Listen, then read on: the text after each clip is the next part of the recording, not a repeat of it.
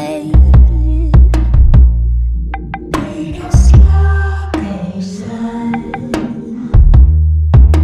what's up guys, Josh here, and today we're gonna be talking about the Schiit Loki. So this thing's cheating, right? Like, like if you use this, you're kind of cheating uh, the system a little bit. You're making your system a little bit better than it should be, um, which is not without its benefits. And uh, I feel the same way about EQ.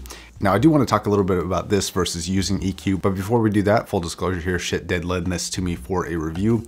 They're not paying, asking, or otherwise trying to influence what I say anyway, good or bad, like always. Okay, so um, this is a niche product. It's a, certainly a niche product because I feel like most circumstances, it actually is not what I recommend using.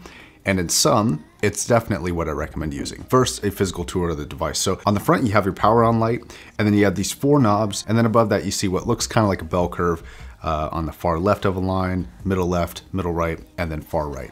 And then you have a switch on the right side. And what this switch does is actually turns off and turns on the presets that you're using when you actually adjust the knobs. So you can actually bypass the knobs with just the flick of a switch. Now on the back, when we start to see what this thing is gonna be usable with, you have a right and left RCA input, a right and left RCA output, and your power on switch and your power input. Now the overall build quality is pretty much classic Schiit. It's, you know, completely made of metal, very solid. Uh, you know, it, it's about what you would expect uh, if you've had a Magni or a Modi. So let's talk about the knobs in the front and then I will get to kind of where I recommend using this and the circumstances where I recommend using this. So the frequencies that this adjusts on a bell curve are 20 Hertz, 400 Hertz, 2000 Hertz, and 8000 Hertz. Now the actual adjustment amount is a little bit odd because on the 20 Hertz knob and the 8000 Hertz knob, uh, it can go plus or minus 12 decibels either way.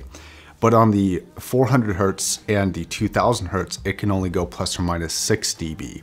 So uh, it's not consistent across the board. I'm not quite sure why this is like this, but that's what we're working with here. Okay, so this device as a whole is pretty cool and it can definitely enhance certain systems that have particular circumstances. So what are those circumstances?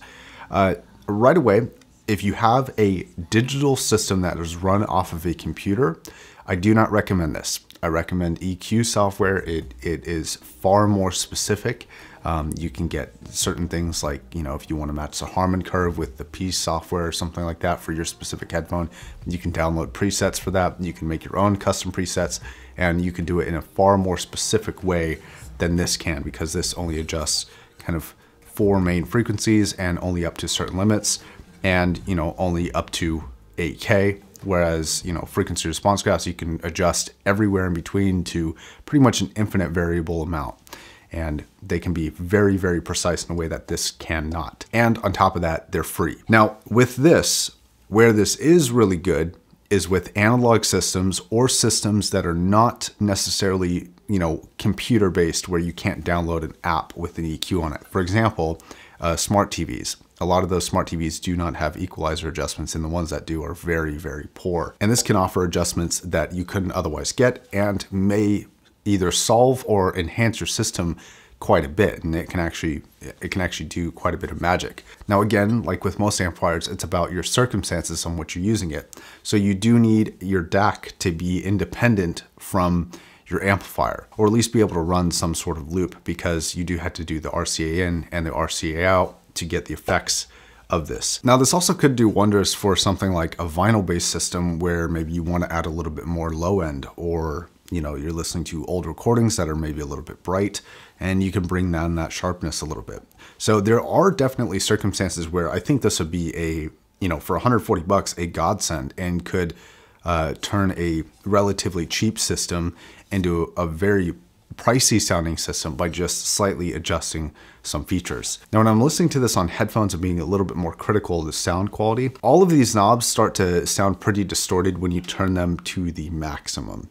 Um, if you play within a reasonable realm where you're not completely boosting each or completely taking away any of the frequencies, uh, I think it, it sounds pretty good. Now, one other thing that I think you should consider with this is if you have high-end gear, I don't think I would recommend adding this into your high-end gear. And it is true that it might be able to uh, kind of fix some issues or enhance some features of the system that you have, but you're also introducing something that, you know, in the realm of high-end gear is probably gonna have uh, introduce more distortion than you're desiring and more distortion than you're paying for with all that high end gear.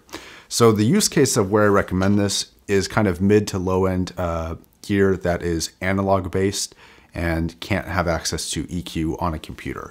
Um, if you're within those circumstances, and this is you know what this is kind of made for, this is a great product, like a super solid, highly, highly, highly recommended product. And it sounds like I'm kind of bashing on it, but I'm more just telling you what I think you should buy this for and all the reasons, you know, and all the scenarios that this really doesn't seem to be the best option. And that may sound kind of negative, and it's not meant to be that way because I actually think this is a great product.